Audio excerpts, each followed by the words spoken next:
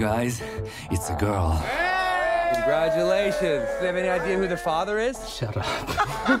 For story time. All right, let's go. Three, two, one.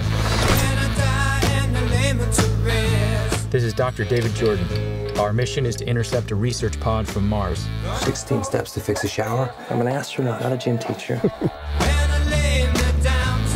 This is the first capsule ever to come back from the planet. We have visual confirmation. I see it. This could be a major scientific breakthrough. Come on, come on, come on, come on, come on, come on, come on, come on, come on. Woo! Cue Instagram. We're looking at the first proof of life beyond Earth. Lowering oxygen, more carbon dioxide. That's beautiful. You finally a daddy. It's gonna be a big custody battle over this one. Martian back to Earth? No, we're gonna keep it up here. We're gonna study where it's safe. Look how fast it's growing.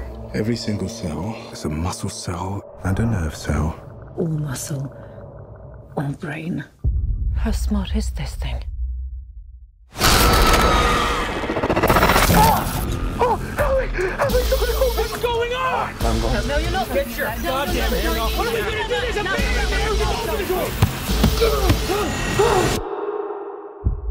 These creatures wiped out Mars millions of years ago. If we let it get to Earth, we'll risk all human life. Let's kill the thing. Good night, moon. Good night, room. Good night, cow jumping over the moon.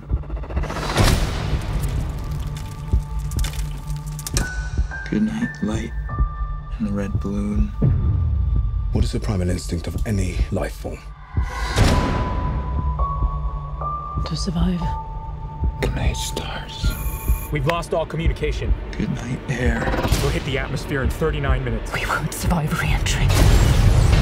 But it could. Good night, noises everywhere.